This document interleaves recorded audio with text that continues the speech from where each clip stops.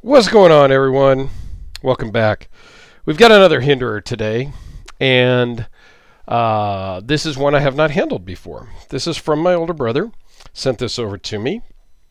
This is the Hinderer half track. My brother's been a big Hinderer fan for a while. I kind of resisted.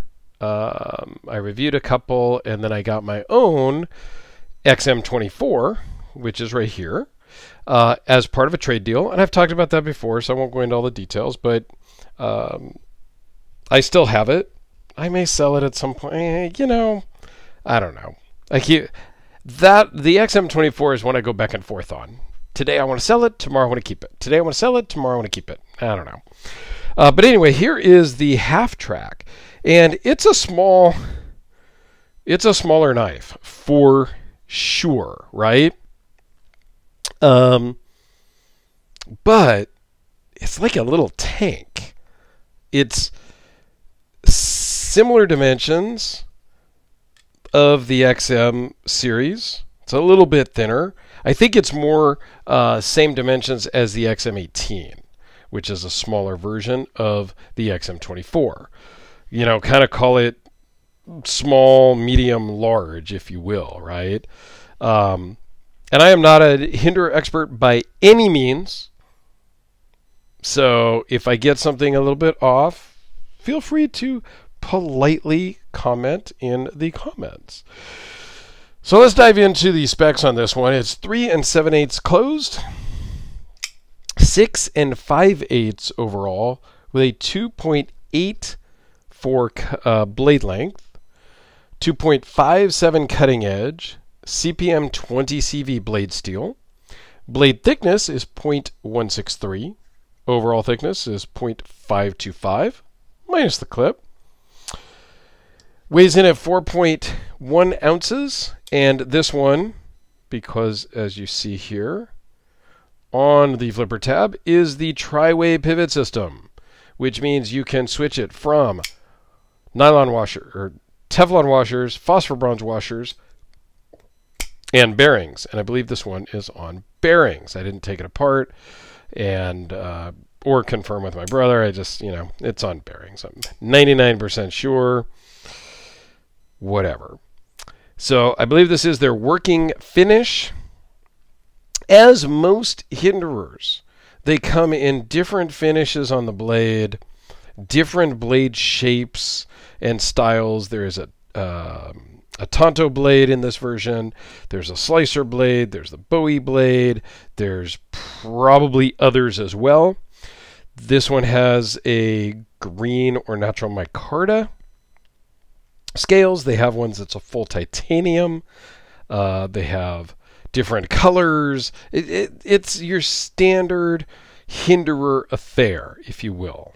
Okay, lock bar insert, nice lockup. No blade play at all. It's just super freaking solid.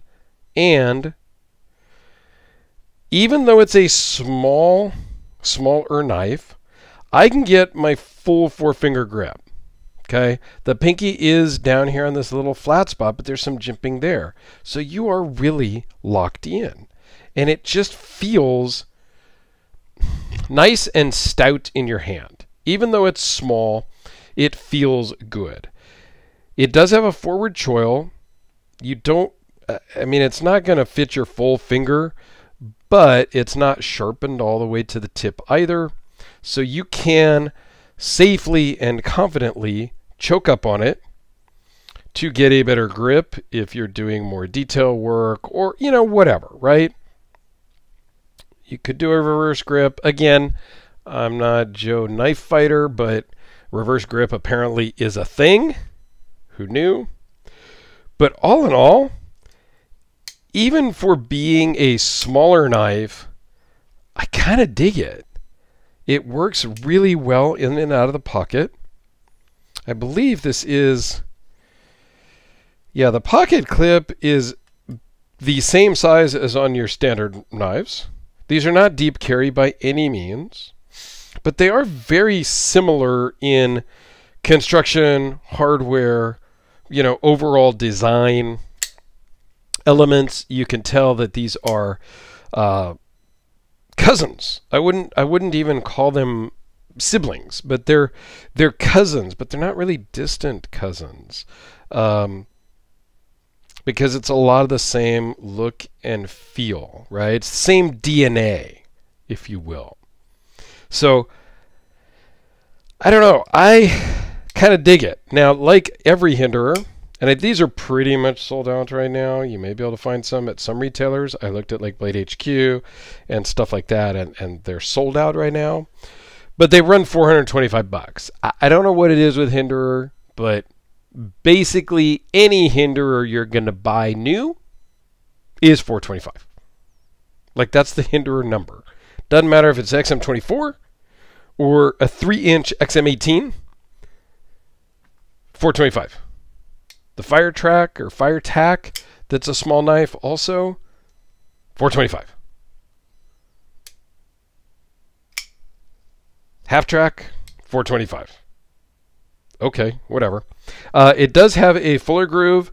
You cannot, I could not really get my finger in there to finger flick it, nor can you get your thumb in here to, well, maybe?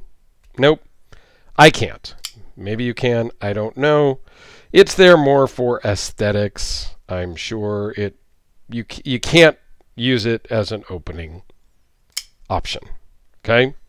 So let's do a couple of size comparisons here really quickly with the Sharpie. And why do I use a Sharpie? I don't know because it makes sense because every single person that's watching this video has at one time or another used a Sharpie and they understand what a Sharpie is and the size and feel of it. So for me, I thought it was a great comparison, right? Everybody's got their knives that they always use, and I always use the same knives. I try to mix it up a little bit, but I have the core group of knives, and uh, the Sharpie just works for me. I don't know. You guys tell me if you want something different. Speaking of common knives, the Spyderco Delica. And again, I've talked about this in a recent video too. The half track is actually smaller than the Delica, but yet it feels bigger in my hand. And I think it's because of the thickness. You know, the Delica is very slim and the half track is a bit chunky and not chunky in a bad way. It just has more meat on the bone so it's a it feels better in the hand. Quiet carry waypoint. Let's mix it up a little bit here and go with something even smaller, I think, than the half track. The small honey badger. Almost, oh man, almost the same exact size. Honey ba- the half track feels better in the hand because there's a little more grip on the handle. But I'm so impressed with the honey badger. Now my brother sent me a different honey badger, so stay tuned for that video because that's going to be cool. And the XM24, do a real size comparison here just so you get a good idea. So, I don't know. I am kind of digging the half track here. For a small knife, it feels much bigger than it really is and it disappears in the pocket because it's so short. It doesn't interfere with anything else you may or may not have in your knife pocket.